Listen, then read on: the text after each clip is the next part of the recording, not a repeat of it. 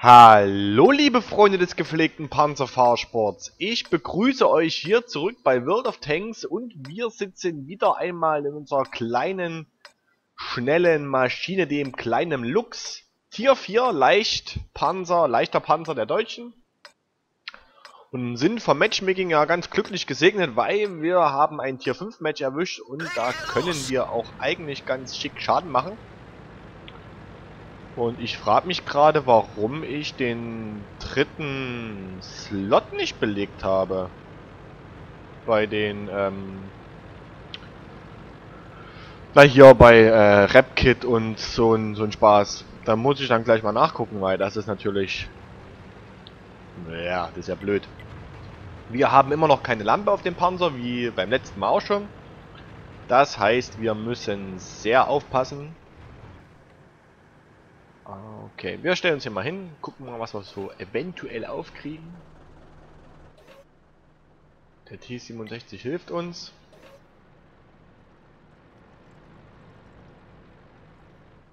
Ja, ich mag den Lux eigentlich. Ich fahre den immer mal wieder gerne so zur Abwechslung. Er ist sehr flink, und die Kanone ist auch im Nahkampf eigentlich sehr brauchbar, nur was, wo ich darauf achten muss, ähm, der Turm dreht recht langsam und so verschieße ich oft im Nahkampf, weil ich einfach zu ungeduldig bin und einfach auf Grrrt, auf Durchdrücken, also die Maustaste durchdrücke, damit einfach das Magazin rausjage, ohne dass ich richtig eingezielt bin. Das ist natürlich immer etwas schlecht. So, hier ist nix. Wo sind die Gegner, Leute? Der T1 wird beschossen. Kriegen wir hier irgendwas auf? Ich erwarte eigentlich gleich, dass es Bumm macht und wir sind weg. Dort ist ein gegnerischer Lux. Panzer 1C, haben wir sogar Schussfeld. Aber wir treffen nicht. T67, ah, den hätten wir beschießen können, das müssen wir warten, bis wir nachgeladen haben. Aber der Spotting Damage geht höchstwahrscheinlich auf uns. Das finde ich ja schon mal gut. Und dafür sind wir als Light ja auch da. Wir sind nicht da, um Schaden zu machen, sondern in erster Linie, um Gegner aufzudecken. Und kann man hier hoch? Oh ja. Oh, ein kleiner Sprung sogar. Gucken wir, dass wir hier mal noch was aufkriegen. 1C, der 67er. Wenn sich jetzt zurückzieht, um, auf die dort können wir nicht wirken.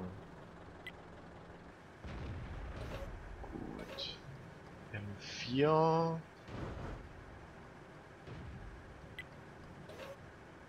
Ah, hinten geht ganz schön die Post ab.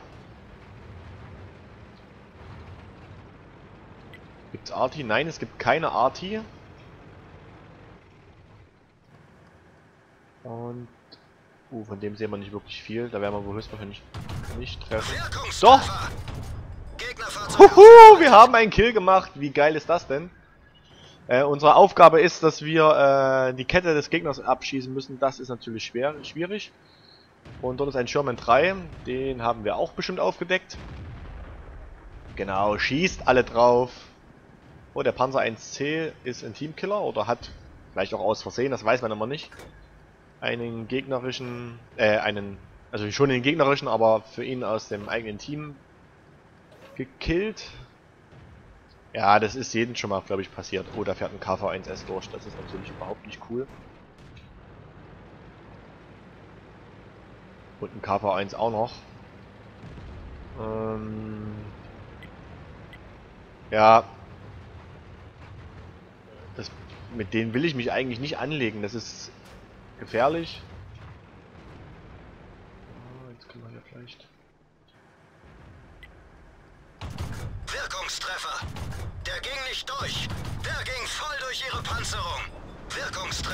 Ah, er drückt mir halt eine, wir waren offen.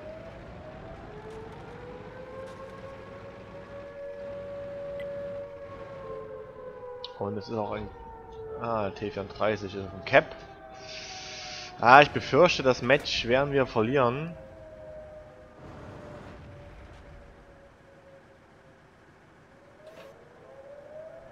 Wo ist der?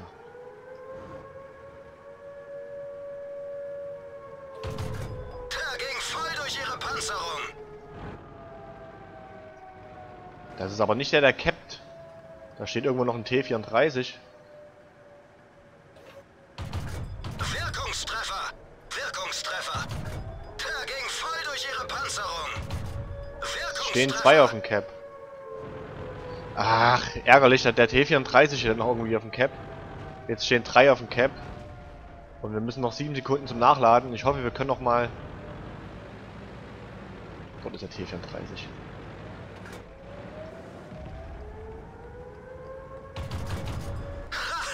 Okay, das war wichtig. Wir müssen weg, wir müssen weg, wir müssen weg. KV1S.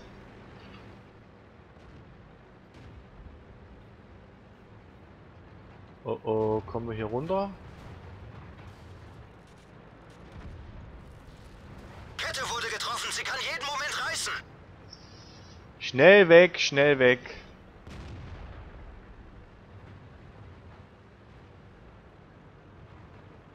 Vielleicht kommen wir ja auf den gegnerischen Cap.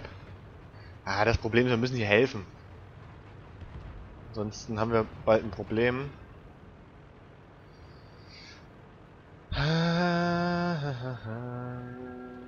Was mache ich denn jetzt? Ich fahre mal zum gegnerischen Cap. Nützt ja nichts. Das ist wahrscheinlich sind wir jetzt auch noch... Na, nee, nicht unbedingt. Es kann sein, dass der Crusader uns nicht gesehen hat. Aber da ist ja noch ein T67 und ein Stück 3 und noch ein T67.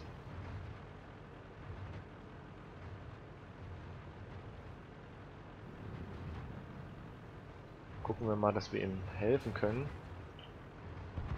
Ah, dammit.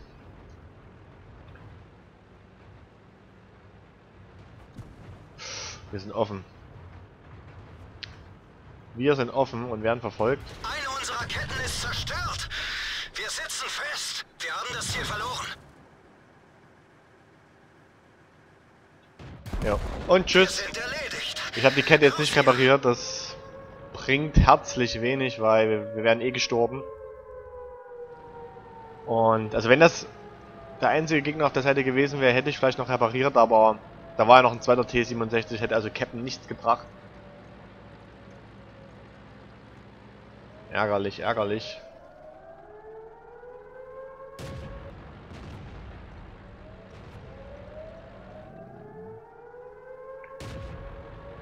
Auch wenn der T67 ein gutes Match macht, aber...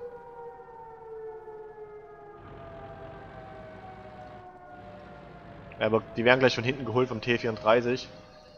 Die beiden ignorieren das auch äh, richtig ordentlich. Und der T67 ist es weg. Oder noch nicht ganz? Dafür jetzt, oder? Komm. Okay, er- der Gegner kann nicht treffen. Unser T67 ignoriert. Kette verloren. Wir sind bewegungsunfähig. Zu spät.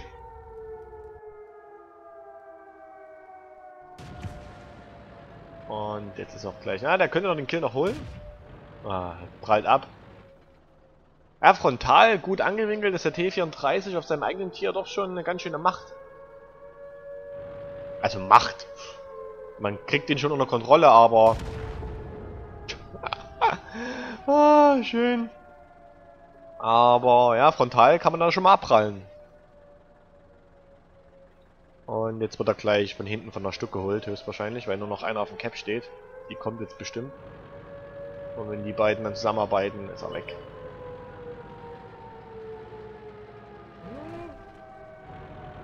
Ich weiß nicht, was der für einen Alpha-Schaden hat. Macht der über 100?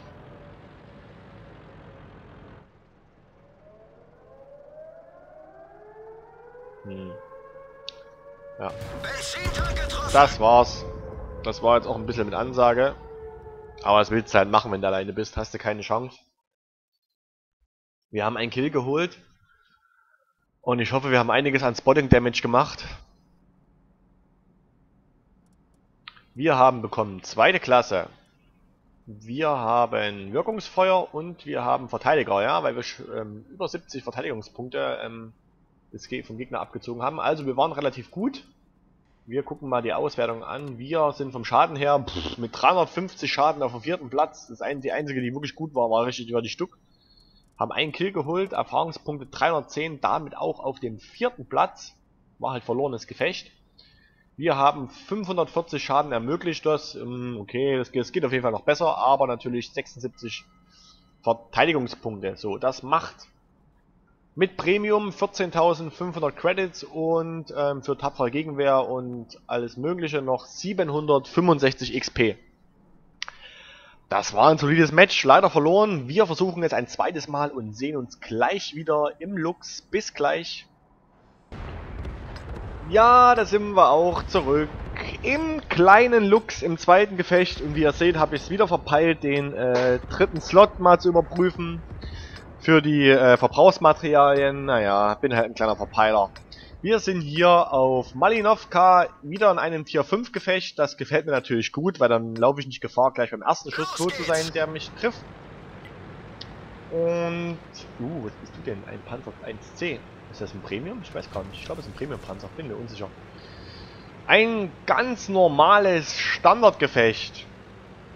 Ja, kommt vor. Hat man nicht so oft, zumindest wenn man die Haken gesetzt hat, dass man auch Angriff und Verteidigung hat. Aber ich glaube, in den Low-Tier-Bereichen gibt es ja... Also man kann den Haken, glaube ich, für die Verteidigung und Angriffsmatches etc. und Begegnungsgefechte erst ähm, ab einem gewissen Tier setzen oder bekommt erst ab einem gewissen Tier in diese Gefechte rein. Es kann natürlich sein, dass einfach der Lux in diese Gefechte nicht kommt. Obwohl doch, er erlebt ja auch 6er und 7er Matches, aber egal. Zu viel des Guten, wir stellen uns hier mal in den Busch. Lassen unser Scherenfernrohr mal wirken und sehen mal, was wir vielleicht so hier aufbekommen. Äh, fies ist halt, dass wir immer noch keinen sechsten Sinn haben. Ich fahre den Lux halt einfach viel zu selten, als dass ich da mal effektiv XP farme. Ich glaube, morgen am Wochenende gibt es wieder so ähm, dreifach Mannschaftserfahrung. Eigentlich müsste ich ihn dann einfach mal so einen Tag durchfahren, weil so viele XP fehlen mir da, glaube ich, nicht mehr. Aber wie gesagt, ich fahre halt dann auch nicht so oft, dass es irgendwie lohnen würde, da jetzt irgendwie groß da was noch zu erforschen. Zumal ich ja auch schon den Nachfolgepanzer in der Garage habe. Und ich würde halt einfach nur die Mannschaft jetzt auf dem Lux noch ähm, so lange trimmen, bis da der sechste sind da ist. Und dann würde ich glaube ich den Nachfolgepanzer ähm, dann hauptsächlich fahren. Obwohl ja der Lux schon Spaß macht. Oh, was bist du denn? Oh, er brennt. Sehr gut. Ja, keine Arti.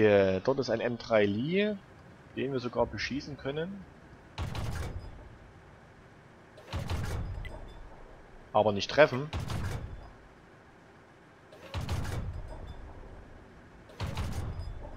Wir haben keinen einzigen Schuss getroffen. Oh mein Gott. Dann fahren wir mal vor und gucken, dass wir den Panzer 3... Uh, der macht uns noch jetzt bestimmt auf. Wo fährt denn der lang? Ah, nein. Gleich ist er weg. Mist. Jetzt steht er blöd für uns. Weil jetzt können wir nicht mehr drauf wirken. Dort ist der Panzer 4 wieder. Oh, jetzt fährt er wieder zurück. Dreht in aller Ruhe. Der ging voll durch ihre Panzerung.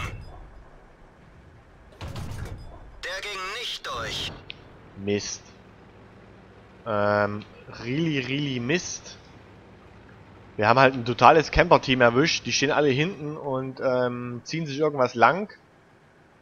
Und der Hetzer dort ist... Oh Gott. Äh, ist auch gleich tot.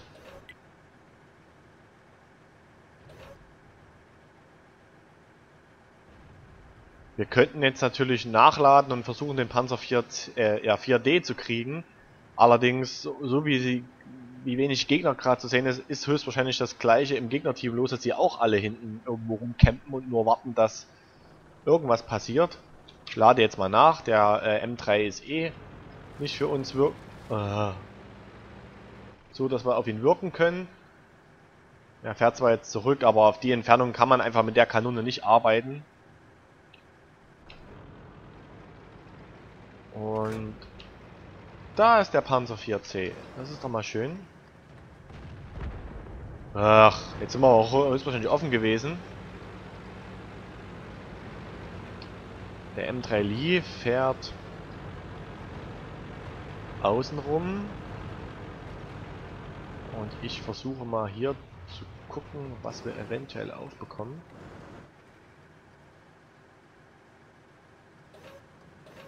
Oh mein Gott. Wo sind die denn alle? Ich befürchte wirklich, dass die... Oh, dort ist jemand. Wirkungstreffer! Gegnerisches Fahrzeug ausgeschaltet. ja, nice. Ich wusste gar nicht, dass der Bluck so viel Schaden macht. Fast 300 Schaden mit einem Magazin. Das ist ja natürlich wirklich geil. Oh, ist der... Ne, er kann nicht. Aber er ist gleich... Unser Hetzer ist gleich weg. Das ist natürlich blöd. Wo... Wer schießt denn da? Nein, er, der Hetzer hat es geschafft, den M3 zu holen. Nicht schlecht. Okay, wir stellen uns jetzt mal hier hin. Mal gucken, was wir hier aufkriegen. Jetzt rückt unser Team mal nach. Das finde ich ja schon mal gut. Ja, ich gehe ja schon spotten. Meine Güte. Leute. Ungeduldig ist etwas. Erst stehen sie noch hinten rum und dann fahren sie mal drei Meter vor und dann wird man gleich... Goosebud, Goosebud. Ja, ja, mache ich ja. Ich gehe ja spotten. Wo sind die Gegner? Das gibt's doch gar nicht. Hier muss doch mal so langsam was aufgehen. Ey! Du Idiot.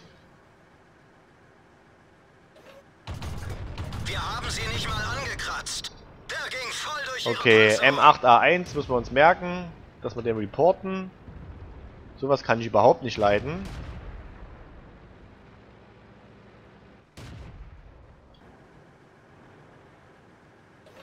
So, Matilda. Where are you? Wo ist die Matilda?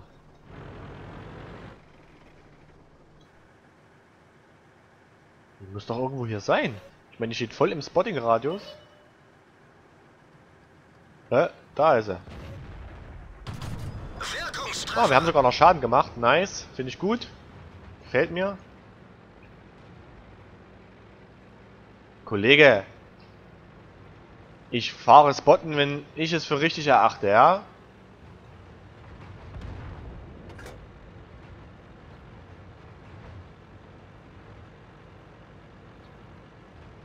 Puder Rot und mir hier erzählen, was ich machen soll, ja? Dropskoffer.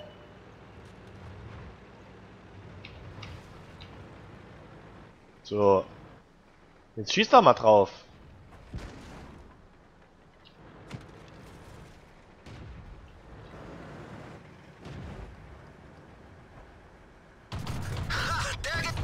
So. Ist ja nicht so, dass ich nichts machen würde hier, ne?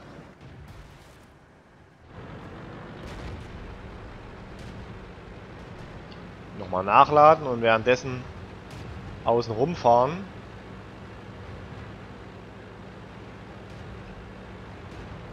Es wäre ja mal schön, wenn der Wolverine und die Matilda noch irgendwie rumdrücken würden. Und ich befürchte eigentlich gleich, dass wir hier drauf gehen.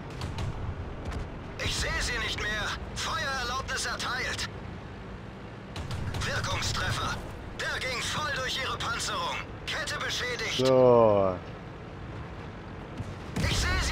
Gut, damit ist die Sache erledigt. Der M8 ging mir ein bisschen auf den Keks, aber eigentlich haben wir doch uns ganz gut geschlagen. Gucken wir mal, was die Auswertung sagt. Zwei Kills haben wir gemacht. Ja, yeah, so gefällt mir das. Wir haben bekommen erste Klasse, Wirkungsfeuer und Schläger, also die Standard Auszeichnungen. Wir sind vom Schaden her auf dem zweiten Platz. Unser Nervkollege, der jetzt gerade mal äh, ähm, ähm, ähm, ähm, unfaire Spielweise bekommt, hat 405 Schaden gemacht mit einem Kill. Bei den Erfahrungspunkten sind wir auch auf dem zweiten Platz. Sehr, sehr schön. Die Nervkanone ist... Wo ist er denn? Ah, hier. Also er war nicht ganz so schlecht, aber er hat einfach genervt. Wir haben auch noch 850 Spotting Damage gemacht. Sehr, sehr schön. Auf dem Tier ist das auf jeden Fall akzeptabel. Haben insgesamt, wow, also für Tier 4, 24.400 mhm, Credits plus gemacht mit Premium. Und mit Tagessieg und allen drum und dran haben wir 2316 Credits bekommen. Ihr seht, ich habe immer noch 10% bis, zum, bis zur Lampe und na, wie ist denn das? Kann ich mir ja mal anzeigen lassen bei dem äh, Modpack. Das wären also noch 72.000 Erfahrungspunkte mit 191 Gefechte im Schnitt. Ey, ja, das mache ich natürlich nicht an einem Wochenende. Das dauert ein bisschen länger.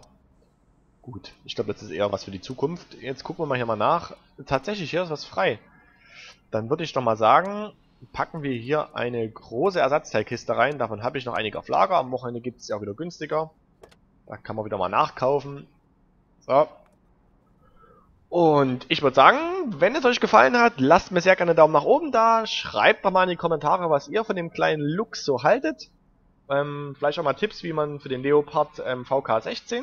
Den habe ich ja auch schon, aber noch sehr wenige Matches und das war, die waren eher so. Ich glaube, ich muss noch viel üben. Schreibt's mal rein. Und ansonsten sehen wir uns zu einem der nächsten Gefechte wieder. Macht's gut, ciao, euer Oher.